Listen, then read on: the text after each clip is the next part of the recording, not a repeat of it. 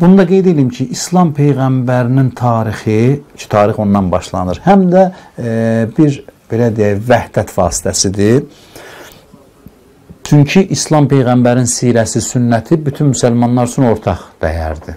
Sünni sözü nədəndir? Sünni yəni peyğəmbərin sünnəsinə, davranışına istinad edən, elə şiə də təxminən o anlama gəlir, tərəfdardır. Yəni Əli əleyhissalam vasitəsilə sirəni qəbul edir. Hər iki məzhəbin istinadı sirəyədirsə, biz ortaq tarixi məlumatlar əsasında bu sirəyə yanaşmalıyıq və Get-gedə də məsələnin önəmi artacaq, xüsusən peyğəmbər tarixinin. Çünki peyğəmbər tarixi ortaq cəhətimizdir.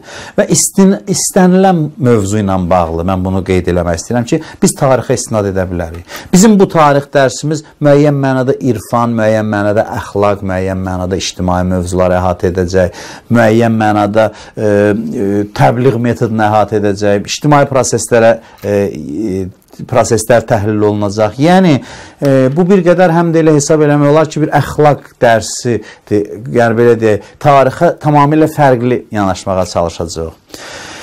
Gedək tarixin özünün təhlilinə. E, deməli İslamdan əvvəlki dövr e, necə adlanır bilirsiniz? Cahiliyyət dövrü. Cahiliyyət dövrü adlanır. E, amma haqlı olaraq cahiliyyət dövrü adlanır təbii ki, amma Bunu qeyd etmək istəyirəm sözümün əvvəlində ki, yəni mövzunun əvvəlində ki, qərb tarixçilərinin əsərlərində bu dövrlə bağlı ciddi səhvlərə yol verilib və ciddi təhriflər baş verib. Peyğəmbərdən öncəki cəmiyyətin ancaq mənfi xüsusiyyətləri qabardılıb əsasən. O dövr qara rəngdə təqdim olunub sırf. Qərb tarixçilərində rolu çox olub. Yəni bir qrup, bir e, e, belə deyim, belə bir mühitdir ki, tam mədəniyyətdən, fəzilətdən məhrum, mütləq cəhalətdə olan, hər cür insani fəzilətdən uzaq olan bir cəmiyyətdir. Qızları diri-diri bastırırlar, bir-birini öldürürlər, vuruşurlar filan və tam mənada cəhalət hökm sürən bir cəmiyyətdir. Belə təqdim edirlər. Mən bu təqdimatla kökündən razı deyiləm. Siz sual verə bilərsiniz ki, vəziyyət pis deyildi bəyəm o dövrdə. Mən cavab verirəm, bəli, vəziyyət pis idi. Amma hansı həddə pis idi? Təqdim olunan qədər pis idi, yoxsa yox? Təqdim olunan qədər e, bərbad idi vəziyyət. Mən istəyirəm bugün o cəmiyyətin müsbət xüsusiyyətlərindən danışaq.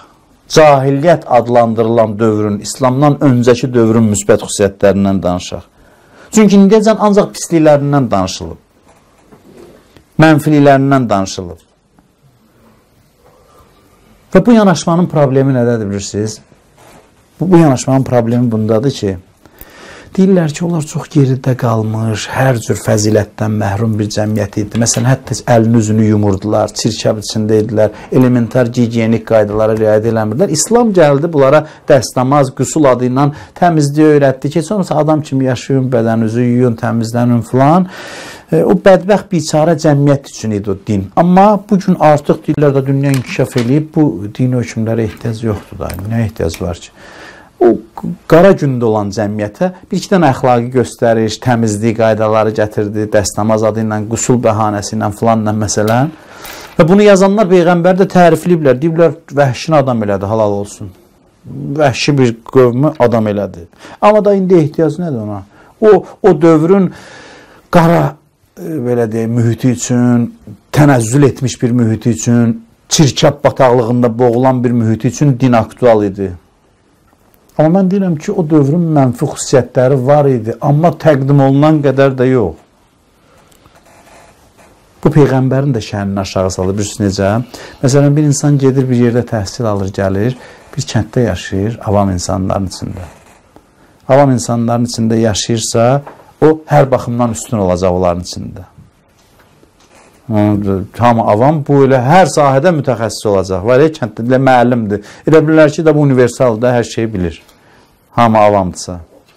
Peyğəmbəri belə təqdim edirlər ki, bir, elə bir cəmiyyətdə idi ki, elə 5 dənə adamın fəziləti olsaydı, orada elə seçiləcəkdi. Nə böyük hünər eləyib ki, Peyğəmbər. Tam zülmət içində boğulan bir cəmiyyətdə sadəcə bir sıra cəhətlərdən fərqli olan insan elə üstün sayılacaq onların içində. Yəni peyğəmbər böyük bir e, hünər etməyib. Alçaqların içində fəzilətli olmaq o qədər böyük hünər deyil. Və o dövrün mənfiliklərini çox şişirtməklə avtomatik olaraq Peyğəmbər dəyərdən düşür. Din özü dəyərdən düşür. Çünki deyirlər ki, dinin dərin təhlilə ehtiyac yoxdur. Din belə de, cəhalət içində boğulan adamlara 5-6 dənə göstəriş, bir dənə ateist verilişdə mənə bunu dedi ki, nə ilahiyyat elmlərindən danışır, ilahiyyat, nə elmdir, elm, nə, nədir bu? Nədən ibarətdir bu elmlər? Bir üstünə 5-10 dənə göstərişdə, yaxşı olun, doğrusu olun, falan olun, falan olun. Bunun elm deyirsiniz siz. Bu dinin də dərəcəsini aşağı salır, səviyyəsini aşağı salır. O baxımdan ki, din bəli, vəhşi vəziyyətdə olan insanları adam eləyib tarixin bir dönəmində və missiyası bitib. Din özdə təhrif olunur. Din ancaq o zamana aid edilir. Gəlin, icazə verin, bugün o cahiliyyət dövrünün yaxşılıqlarını sayaq. Müsbət cəhətlərini sayaq. Orada ixtilaflar var idi. Bəli, var idi. Müharibələr var idi. Bəyəm indi müharibələr yoxdur ki? İndi daha qanlıdır. Amma Amma onların arasında əhd bağlanırdı. Qoyduqları imzaya başları ilə cavab deyirdilər. Bir cəmiyyətdə əhdə vəfa xüsusiyyəti varsa, bu fəzilətdən xəbər verir yoxsa yox? Ciddi fəzilətli bir cəmiyyət üçün.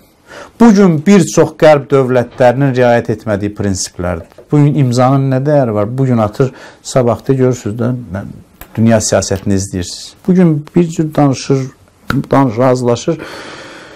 Bir ildən sonra nə elə elə bil ki, bu imza atmayıb. Öz imzasını etibarsız eləyir. Əhdin heç bir dəyəri olmadığı bir dönəmdə o dövrün cəmiyyəti daha mütərəqqi idi. Müasir dövrün cəmiyyətindən. Elə istər fərdi münasibətlərdə də biz bunu qeyd edə bilərik. Təkcə e, ictimai, siyasi məsələlərdə yox ki, müəyyən bir cəmiyyət içində evlənmək üçün qaydalar tətbiq edilirdi ki, bu gün həmin qaydalar qərb cəmiyyətlərində yoxdur. Cinsi azadlıq adı ilə heç bir qayda tətbiq edilmir cinsi münasibətlərə razısınız, amma orada müəyyən bir qaydalar var idi ki, düzdür primitiv idi, amma tətbiq edilirdi. O cəmiyyətdə yaxşı insanların hörməti var idi. Razısınız? Əbdülmütəllib hörmətli bir adam idi. Bir cəmiyyətdə ki, fəzilətli adama hörmət qoyurlar. Əbu Talib Peyğəmbər o hörməti hesabına himayə edirdi. Fəzilətli adam idi, ərəb cəmiyyəti ona hörmət qoyurdu, hörmət göstərirdi. Peyğəmbər özü necə məşhur olmuşdu peyğəmbərliyindən əvvəl? Bilirsiniz də Əmin adı ilə. Hamı bunu əzbər bilir. Əhsən belə bir cəmiyyətə ki, doğrucu adama sayğı göstərir, ona Əmin adı qoyur. Onu əmanətdar hesab edir. İndi benim doğrucu adama o qədər hörmət eləyirlər. İndi doğrucu adama hörmət eləyən baxsın o cəmiyyətdə ondan daha azdır. Bu cəmiyyət dinə bağlı cəmiyyət idi. Düzdür, dinləri təhrif olunmuşdu. Dinləri təhrif olmuşdu, amma din var idi, Kəbə var idi. Kəbə hörmət sahibi idi. Əbrəhə niyə hücum eləyir Kəbəyə? Əbrəhə hücum eləyir Kəbəyə ona görə ki, Kəbə bir e, dini mərkəz idi, həm də ticarət bunun sayəsində inkişaf eləmişdi və inkişaf eləmiş bir şəhər idi o dövr üçün. Yəni ora e, sərvət axını var idi. Yəni Kəbə Məkkə aktual bir yer idi. Düzdür, səhv ayinləri var idi. Qurbanı kəsib qanını Kəbəyə sürtürdülər məsələn.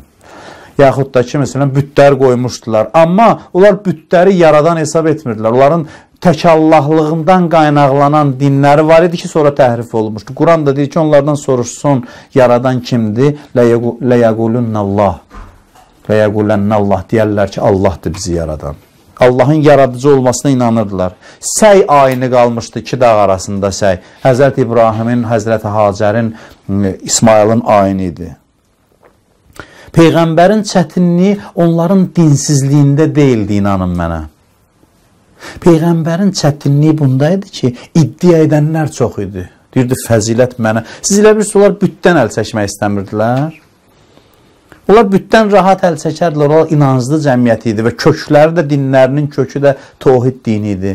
İddialı insanlar çox idi ki, peyğəmbər özlərinə müxalif hesab edirdilər. Orada ədəbiyyat inkişaf eləmişdi. Və ədəbiyyatın inkişaf eləməsi bir göstərici deyil bir cəmiyyət. Çünki söz sənətinin inkişaf eləməsi. Bəli, o dövrə cahiliyyət dövrü deyilik, amma İslamın yüksək mədəniyyəti ilə mənəviyyatı ilə müqayisədə cahiliyyət dövrü adlana bilər.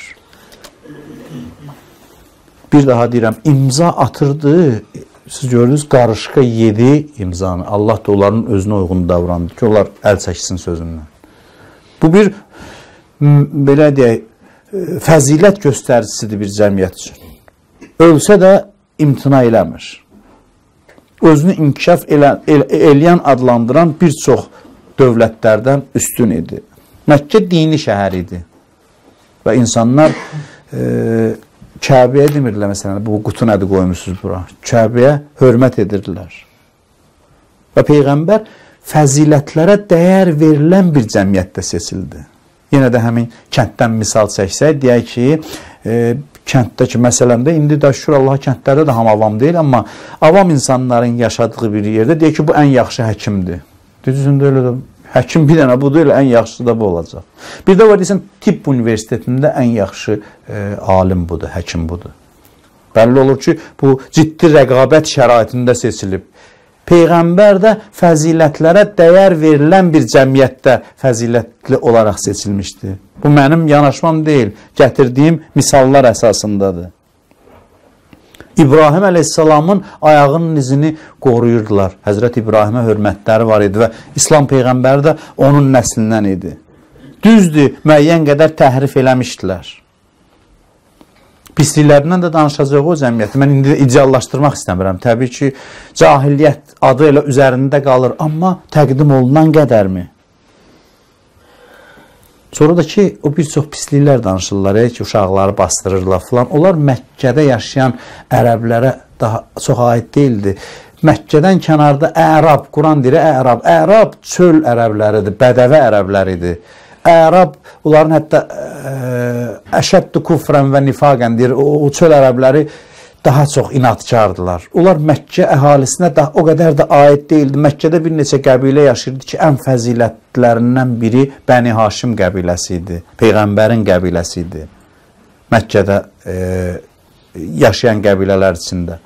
Və bəziləri də deyir ki, Qərb tarixçiləri deyir ki, Bəni Haşimin rolunu çox şişirdiblər Haçanın Abbasilər dövründə Peyğəmbərin əmsinin nəsli. Abbasilər ki, özü Bəni Haşimdən idi. Amma bu yanlış şeydir. Əbu Talibin Peyğəmbəri bir daha deyirəm, himayə etməsi bunun göstəricisidir ki, Əbu Talib kimi fəzilətli bir insan Peyğəmbərin özü İslamdan öncə bunların içində hörmətli idi. Və dini inancları var idi. Əbrəhə hücum eləyəndə ora gəlir deyir ki, Əbdülmütəllibin dəvələrini müsadirə eləyir də, bilirsiniz, gəlir, deyir ki, mən dəvələrimi istəyirəm. Deyir, bəs sən Kəbəni qorumursan? Deyir, ana Rabbul İbil, mən dəvələrin sahibiyəm, onları tələb eləyirəm. O evin öz sahibi var. Bu əməlli başlı tohid inancı idi. Düzdür, bu ailədə idi. Amma tohid inancına sahib bir ailənin bu mühitdə hörmət sahibi olması çox şeylərdən xəbər verir.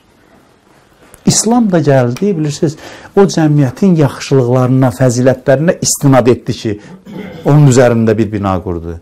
İslamın gəldiyi dönəmdə təməl, təməl o cəmiyyətin fəzilətli xüsusiyyətləri idi. O təməl olmadan İslam orada müvəffəq ola bilməzdi. Əgər ora mütləq mənada qara, inkişafdan uzaq, mədəniyyətdən uzaq, zülmət içində boğulan, müsbət xüsusiyyəti olmayan bir cəmiyyət idisə, İslamın istinad nöqtəsi olmazdı kifayət qədər fəzilətləri var idi ki, İslamda öz binasını o fəzilətlər üzərində qurdu. Pak adamın bu gün mən tam qətiyyətlə deyirəm, o qədər hörməti yoxdur ki, o cəmiyyətdə var idi. Bu gün pak adamı ələ salırlar, məsxərə eləyirlər. Deyirlər, onun ağlı yoxdur. Minzuratlar qoyurlar onun üzərinə. O vaxt dindar adamı cəmiyyət dindar deyəndə ki, fəzilətlərə bağlı, peyğəmbərin doğruçuluğu, gözəl xüsusiyyətləri onların hörmətinə səbəb idi. Sonra niyə məsxər elədilər? Niyə mübarizə apardılar? Ona toxunacaq. Bəs sonra nə oldu ki, mübarizə apardılar? Qısa belə deyək ki, yaxşılar pislərin yerini dar eləyəndə pislər qalxdı mübarizəyə, yaxşılara qarşı. Onun nəticəsində oldu. Peyğəmbərə dedilər, rəis olmaq istəyirsən, bu Kəbənin açarları bu sən. Səndən fəzilətli kim var? Keç ol bizim rəisimiz. Səndən üstün kim var? Amma Allah tərəfindən yox demokratik yolla özümüz səni seçək, səni təyin eləyək. Allah tərəfindən bizə ağır gəlir. Sən qüdrətin mənbəyini göylərə aparma. Burada bir psixoloji da məqam var, mənəvi də bir məqam var. Bilirsiniz, gərək dəqiq incələnsin bu məsələ. Dedilər ki, sən gəl bizə rəhbərlik ilə dünyəvi hakimiyyət qur. Biz seçək səni, sənəd amma sən ki başladın yuxarıya e, istinad etməyə biz bunu həzm edə bilmirik. Biz bunu qəbul etmək istəmirik.